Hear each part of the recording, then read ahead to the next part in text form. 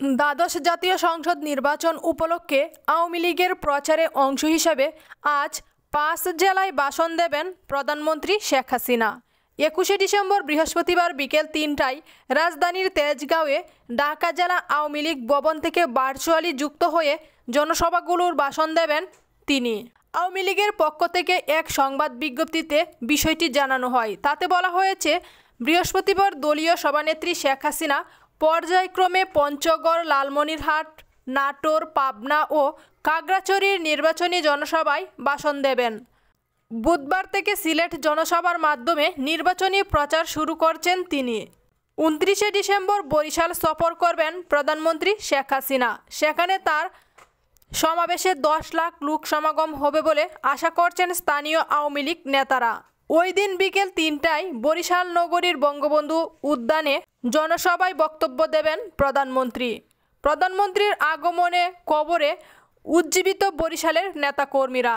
তার এ আগমনের মধ্য দিয়ে দক্ষিণাঞ্চলের নৌকার পক্ষে বুট বিপ্লব ঘটবে বলে জানিয়েছেন তারা।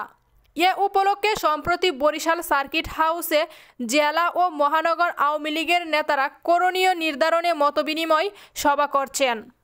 সভা শেষে বরিশাল জেলা আওয়ামী লীগের সভাপতি আলহাজ আবুল হাসানাত আবদুল্লাহ বলেন, শেখ হাসিনা পদ্মা সেতু থেকে কুয়ারকাটা পর্যন্ত ব্যাপক উন্নয়ন করেছেন। তাই এ অঞ্চলের মানুষ উনত্রিশে ডিসেম্বর তাকে অভ্যন্তনা জানাবে। এ সময় বরিশাল সদর আসনের নৌকার প্রার্থী, প্রাণী সম্পদ প্রতিমন্ত্রী জাহিদ ফারুক শামীম বলেন, নির্বাচনী প্রচারের অংশ হিসেবে শেখ হাসিনা বরিশালে আসছেন। নৌকা প্রার্থীদের জনগণের সামনে পরিচয় করিয়ে দেবেন তিনি। মতবিনিময় সভায় উপস্থিত ছিলেন জেলা আওয়ামী লীগের সাধারণ সম্পাদক তালুকদার মোহাম্মদ ইউনুস এবং মহানগর সভাপতি এ কে এম জাহাঙ্গীর সহ আরও অনেকেই।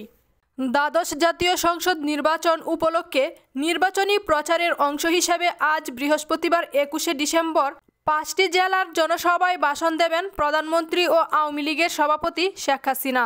আজ বিকেল তিনটায় রাজধানীর তেজগাঁওয়ে ঢাকা জেলা আওয়ামী লীগ ভবন প্রান্ত থেকে ভার্চুয়ালি এসব জনসভায় যোগ দেবেন তিনি।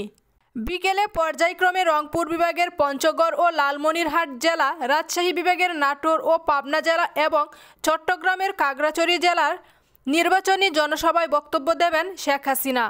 এ কর্মসূচিতে আওয়ামী লীগের কেন্দ্রীয় নেতা সংশ্লিষ্ট জেলা আওয়ামী লীগ, উপজেলা পৌর Awami League union, ward, Awami League নেতা এবং সংশ্লিষ্ট জেলার নির্বাচনী এলাকাগুলোর আওয়ামী লীগ মনোনীত প্রার্থীরা উপস্থিত থাকবেন।